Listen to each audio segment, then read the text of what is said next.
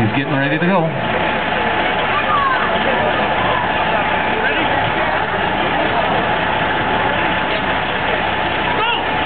Here he goes, people. Give him a round of applause. Keep him coming. 44,000 pounds.